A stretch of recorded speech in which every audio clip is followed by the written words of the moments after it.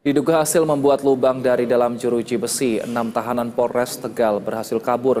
Tiga tahanan ditangkap kembali dan tiga lainnya masih buron.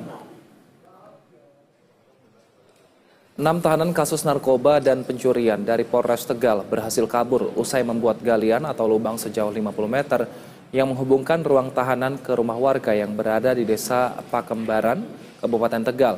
Menurut informasi, keenam tahanan kabur pada Jumat ini hari. Setelah mengetahui ada insiden ini, polisi langsung melacak keberadaan tahanan dan dalam kurun waktu kurang dari 24 jam, petugas berhasil menangkap tiga dari tahanan yang melarikan diri. Selain tengah melakukan pemeriksaan secara intensif dari tahanan yang berhasil ditangkap, kini polisi sedang fokus untuk melacak keberadaan tiga tahanan yang masih buron.